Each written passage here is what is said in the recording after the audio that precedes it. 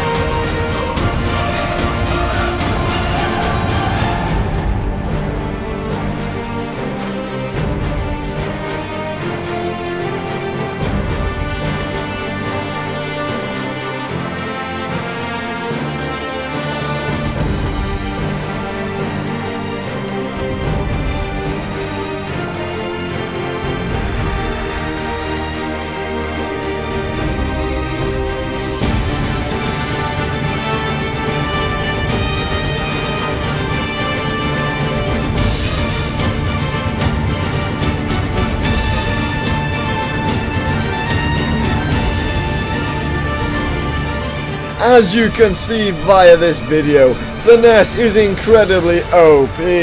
If you would like more content like this, please leave a like, it helps me out a lot. Hit that subscribe button to become a Brochacho today. Leave a comment and follow me on Twitter and tell me what you Brochachos want to see. And I will see you in FIFA 15! Peace!